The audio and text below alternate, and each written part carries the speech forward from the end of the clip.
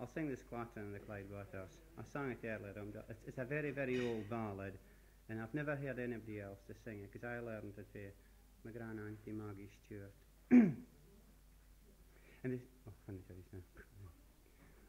I hear a steed at my stable door. Cost me twice twenty pounds, and I'll but trust in his four legs that he'll carry me safe to land. He's out yon high, high hill, and on yon dowie dens, and the clatter and all the Clyde waters, it would fear ten thousand men. Spare me, spare me, Clyde waters. Ah, oh, spare me as I gang. Ye can mock me a wreck when I come back, but spare me as I gang. When he got to his Maggie's bower,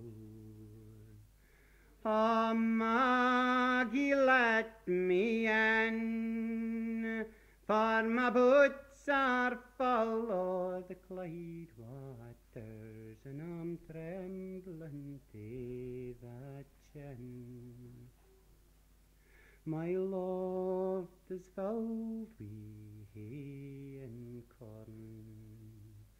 My stable's full of steed, and my boat is full of gentlemen, and the won't move tonight. He turned his horse round We run has he, and as good by false Maggie he cries, and as good by Maggie cries he. He's growed yon high, high hill, and on yon dowie dens, and the clatter and the Clyde waters, it would fear ten thousand men. The first step into Clyde waters, then Williams came frae him, and the clatter and oh, all the Clyde waters, then Williams had frae him. William's brother was on the bank. Oh, William, will if ye catch a hod o' your stallion's head, you'll learn ye how to swim. How can I catch my stallion's head?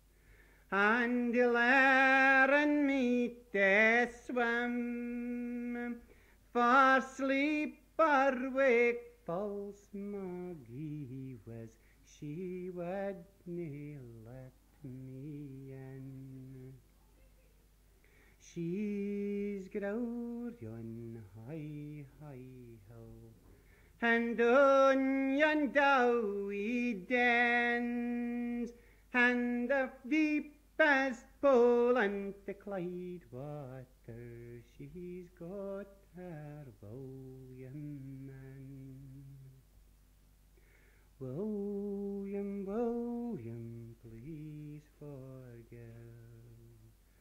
Forgive for no coming doon, for it's here that we'll get we're stepmother's prayers.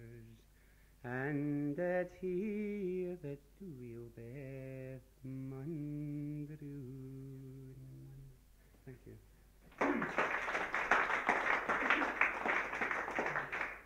Well, thanks very much, Stanley. Well, we're to finish off